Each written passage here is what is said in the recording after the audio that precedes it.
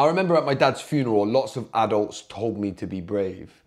And what I actually think that adults mean, particularly when they tell children to be brave, but in general, is I don't think I could deal with the emotion that I know that you need to express. So I'm going to tell you to be brave. You'll keep that emotion in, and I won't have to deal with the ways that I would feel if you were to express exactly how you were feeling. When we tell people to be brave, it nearly always comes from a place of fear. We're scared of that emotion, and so let me tell you to be brave.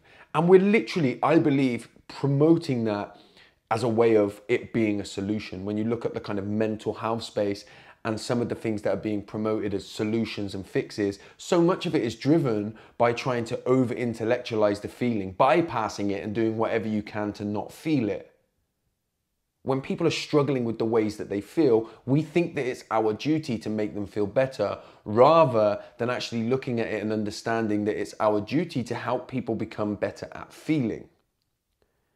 All our emotions serve a purpose, and there's so many of us that are up living in this rational part of our brain 24 7 that we don't even know how sad we are. And it's happening all the time, and we're promoting that emotional avoidance. We do it in children, and we do it because we can't comprehend our experience when we're in those emotions.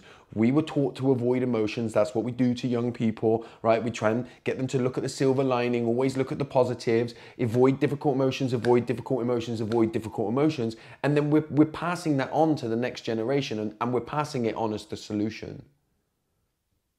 We, we need to get back to feelings work. We need to get back to understanding that we're supposed to feel a full range of emotions, and that's what makes us human. And there isn't always a fix. When we avoid the emotion and jump straight to positivity, we miss the signal of which our body is trying to give us. That includes jealousy, rage, anger, despair, all of those feelings, if we don't allow ourselves to get curious and feel them, we avoid the signal that they're trying to give us and we do not get our needs met.